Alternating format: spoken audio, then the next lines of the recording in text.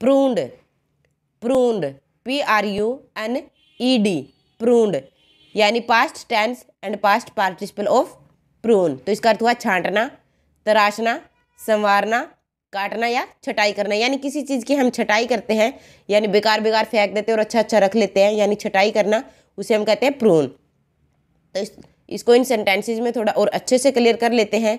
जैसे ही pruned the longer branches of the tree he pruned the longer branches of the tree यानी कि उसने पेड़ से लंबी शाखाओं को काट डाला।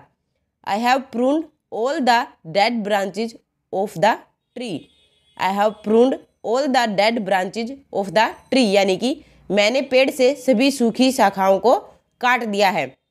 These straggly streams should be pruned off these straggly streams should be pruned off यानी कि इन टेढ़े मेढ़े तनों को काट देना चाहिए।